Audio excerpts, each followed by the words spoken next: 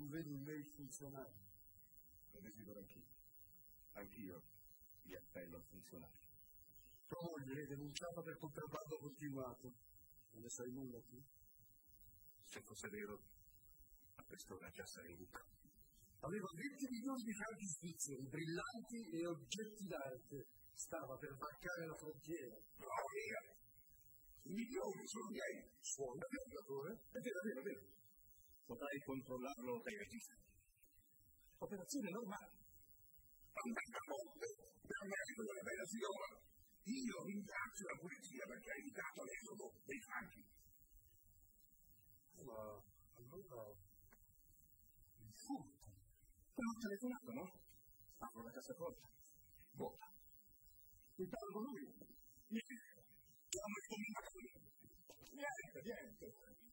Iniziamo le indagini.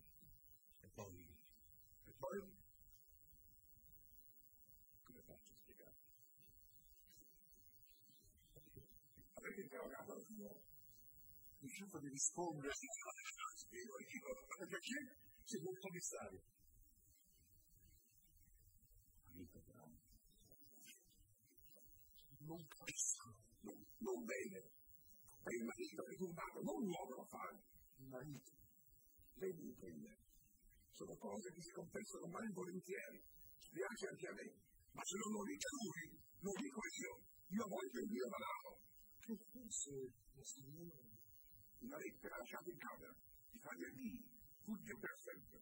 Confessa di avere un amante e riporta via ciò che trova. Anche quello che è il mio. Ah, Questo.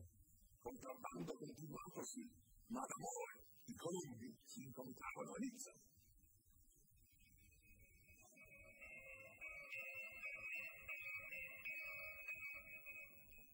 Hai visto? Hai visto? Avevo ragione.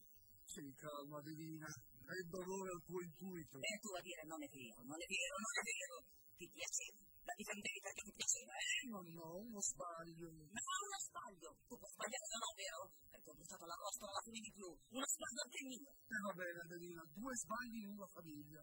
Non parliamo di. E tu scopri che amante sai. Farò il possibile, Adelina. E ti dico io. E quel giovanotto, e quel candido.